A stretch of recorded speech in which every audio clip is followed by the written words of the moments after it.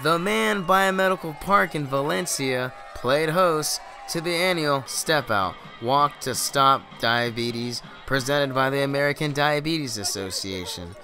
Hundreds of people were on hand to participate in the four mile walk, along with raffle prizes, giveaways, food, entertainment, and to help support the fight against diabetes.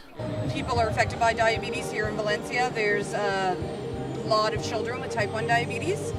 Uh, so this is a very community-based event, as you can see. A lot of families, a lot of kids, and they come out to support the cause and support their families and their friends.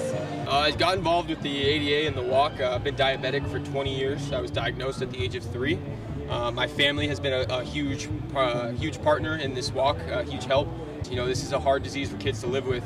Um, it's an everyday disease, and we're working to find a cure every day, and that's why we come out to the walk to, to, to find a cure for diabetes. I am a type 1 insulin dependent diabetic, and I have had diabetes for the past 12 and a half years.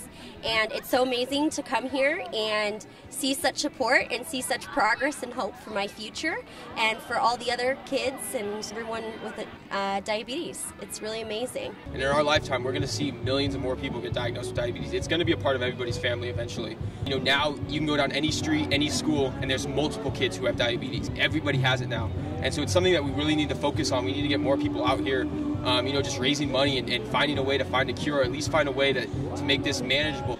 Like my mother, over 26 million Americans are diagnosed with diabetes. Hopefully, with continuous support and events like this, there will one day be a cure. Reporting from Valencia, I am Oscar Rogel for Cougar News and SCV TV.